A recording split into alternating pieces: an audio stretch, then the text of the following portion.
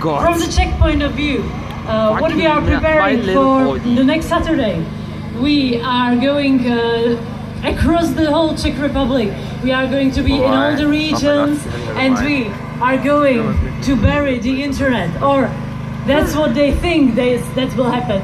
But we will only make it so and then save the internet because that's what it's all about, right? To save the internet.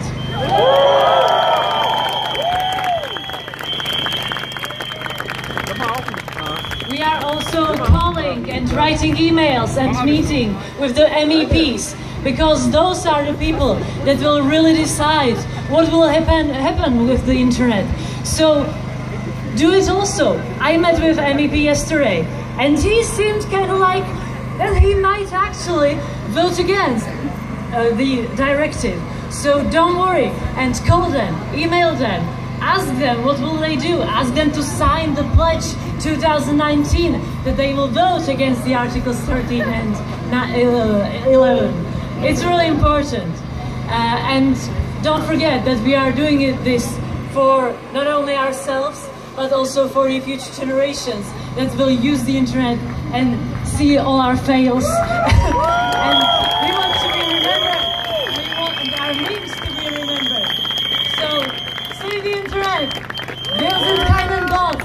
Wir sind keine Bots. Dankeschön. Mach mal ernst, oder Pizza? So, äh, der nächste internationale Redner kann äh, doch Deutsch, also, äh, aber den Nachnamen kann ich auch nicht aussprechen. Oh Mann. äh, magst du deinen Vor- und Nachnamen sagen? Okay, mein Name ist Miklas Peksa und vielen Dank.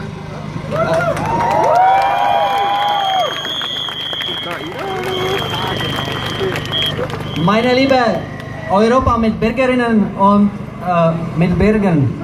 Es ist nicht so oft passiert, dass ein tschechischer Abgeordneter Ach, in. Deutschland bei einem Demo spricht. Aber wir sind alle in einem Gefahr. Diese europäische Richtlinie beschädigt uns alle, alle Bürger aus Europa.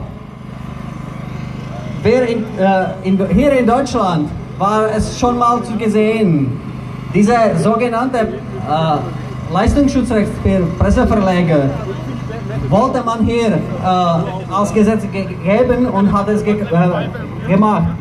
Nur ist dieser Wahnsinn nicht funktioniert und jetzt wollen die Leute aus der CDU das auf der europäischen Ebene einleiten. Das ist ja gefährlich. Hier in Deutschland hat es die äh, Kleine beschädigt, aber jetzt, wenn es die Kleine in Europa beschädigt, wird das die ganze europäische Projekt kaputt machen. Weil in Europa nicht nur die Großen sind, auch, aber auch die Kleinen. Deswegen ist das gefährlich. Diese ganze Richtlinie hat gar keine, keine Erfahrung aus der Brexit genommen. Das beschädigt uns alle und ist für uns gefährlich. Also jetzt müssen wir alle als Tschechen, Deutschen und Europäer sagen, wir sind keine Bots, wir sind keine Bots, müssen wir diese Richtlinie stoppen.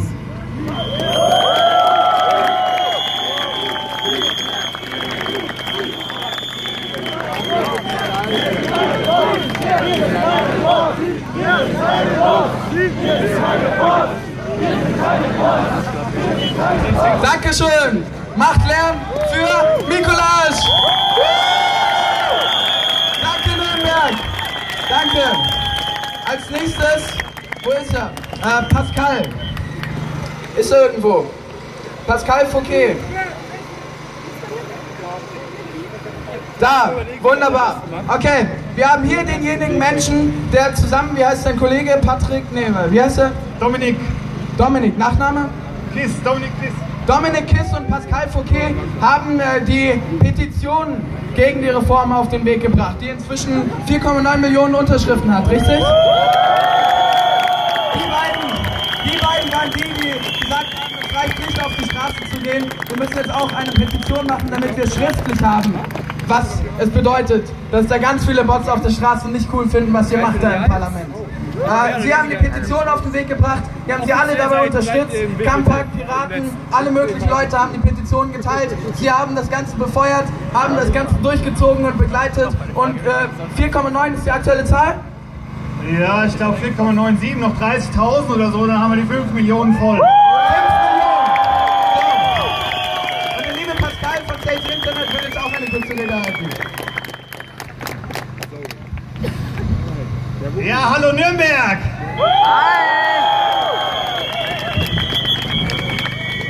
Also ich freue mich richtig, dass so viele Leute hierher heute gekommen sind. Dankeschön!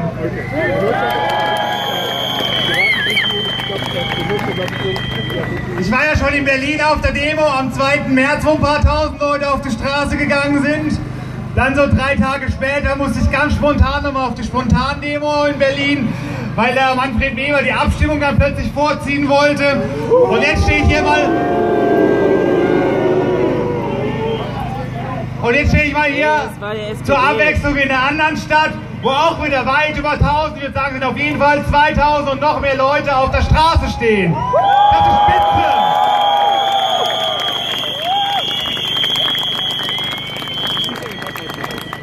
Und es ist auch wichtig, dass wir auf die Straße gehen, weil die Demo in Berlin, die hat gezeigt, dass wir denen richtig Angst machen. Die haben denen gezeigt, dass wir sind keine Bots. Wir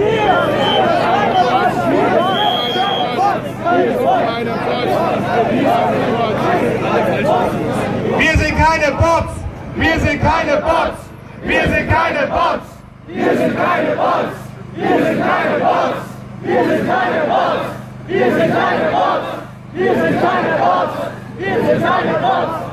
Und als sie das gemerkt haben, da haben die plötzlich mit Volldampf versucht, diese Direktive im Schnelldurchlauf durchzudrücken. Und es und da muss man einfach sagen, das war ein Schlag ins Gesicht von jedem, der sich hier engagiert hat. Das war ein Schlag ins Gesicht von der Demokratie. Und genauso da wie da in Berlin müssen wir die heute wieder aufschrecken und wir müssen die Leute in ganz Europa anstacheln, dass sie am nächsten Wochenende an all die Dutzenden Demos europaweit gehen.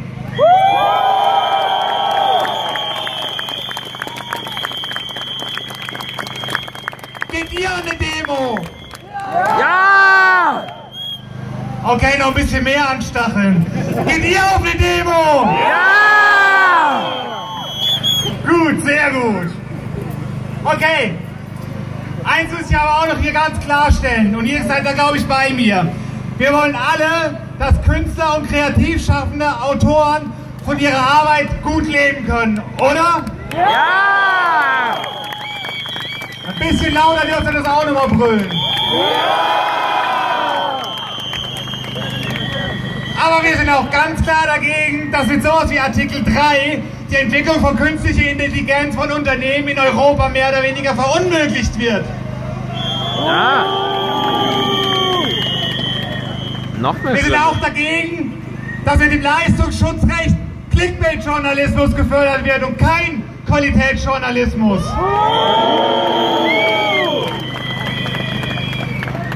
Wir sind dagegen, dass schon Zitate mit drei Worten, wenn es dumm läuft, lizenzpflichtig sind.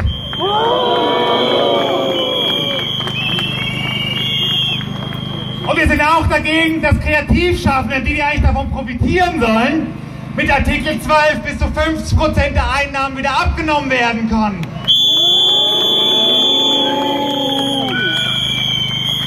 Und wir sind auch ganz klar dagegen, dass mit Artikel 13 elementare Grundlagen von unserem Internet zerstört werden.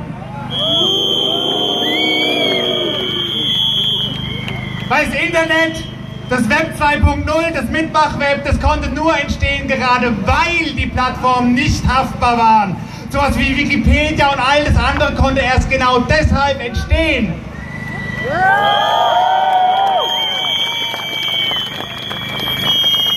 Also liebe CDU, CSU, EVP und auch sonst auch alle Parlamentarier, wir sind gegen diese Urheberrechtsreform.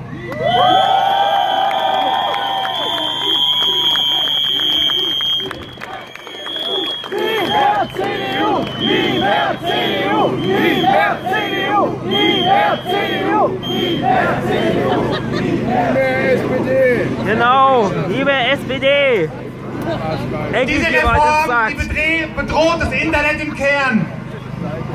Nicht nur das Internet ist in Gefahr, sie fördert auch erneut die Spaltung zwischen Jung und Alt. Sie spielt auch den Europaskeptikern in die Hände. Man muss einfach sagen, diese Reform, sie bedroht unsere Zukunft.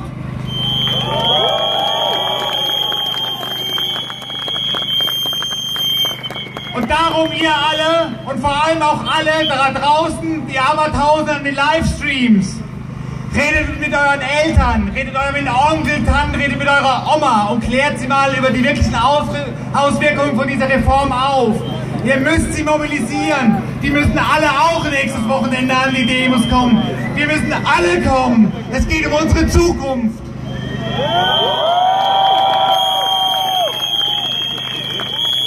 Also, bis nächstes Wochenende, bis nächsten Samstag. Wir sehen uns. Macht Lärm für Pascal Fouquet! Nochmal ein großes Dankeschön, dass ihr die Petition auf den Weg gebracht habt und so ausdauernd begleitet habt. Danke! Also wer die Petition noch nicht gezeichnet hat, jetzt müsst ihr Gas geben, weil in ein paar Wochen geht, es nicht mehr, bringt nicht mehr. Wer die Petition nicht unterzeichnet hat, hat kein Internet und wird in Zukunft auch keins mehr haben. so, wir haben einen letzten Redner, bevor wir uns auf den Weg machen. Also an die Polizei, ihr wolltet euch vorbereiten, das ist das Signal zum euch vorbereiten. Wir haben Mike Musal, den Vorsitzenden vom Chaos Computer Club hier in Erlangen. Macht mal Lärm! Macht mal Lärm! Macht mal Lärm! Moin Moin. Wir stehen hier mal wieder, weil die üblichen Problempolitiker keine Ahnung von dem haben, was sie dort in die Richtlinie schreiben und die Konsequenzen davon nicht überblicken. Sie verstehen nicht, was es technisch bedeutet, solche Filter umzusetzen. Wir haben ja alle nichts dagegen, dass, dass Schöpfer und Künstler äh, ihren, ihren, ihren gerechten Lohn erhalten. Aber das, was sie da reinschreiben, ist überhaupt nicht zielführend dafür und gar nicht umsetzbar.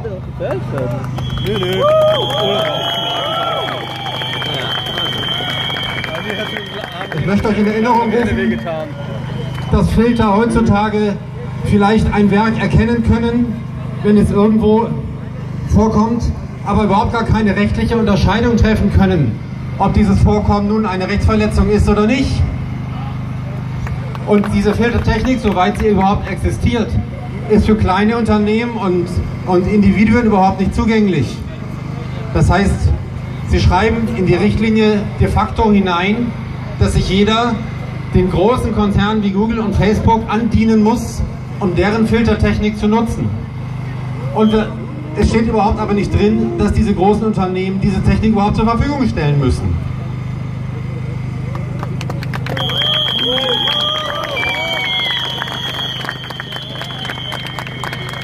Aber die Mängel sind nicht nur technisch, es ist überhaupt nicht klar, wie ein einzelner Anbieter überhaupt jetzt mit äh, all den Rechteinhabern, die möglich sind, die, die äh, ein Werk für sich beanspruchen wollen, in Kontakt treten sollen.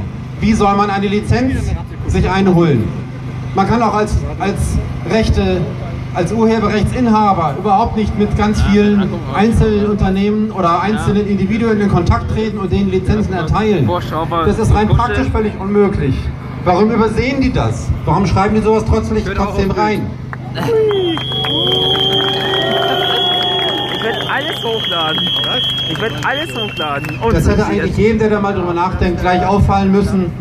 Und deswegen, Artikel 13 ist so nicht zu verabschieden und deswegen muss die Richtlinie gestoppt werden. Ruft Ja, an, ruft eure Abgeordneten an. Schreibt Briefe. Dankeschön. In fünf Minuten fahren wir los. Packt eure Kameras ein oder macht die Reise fertig. Und äh, genau, ihr dürft euch alle auch darauf vorbereiten. Wir gehen gleich äh, einen kleinen schönen Rundgang durch die Stadt und äh, dann landen wir wieder hier vor der Straße der Menschenrechte. Äh, das ist dieser schöne Bogen. Wir passen dazu, dass selbst der UN-Menschenrechtsausschuss die EU aufgefordert hat, die Reform bitte mit internationalen Standards für Meinungsfreiheit in Einklang zu bringen.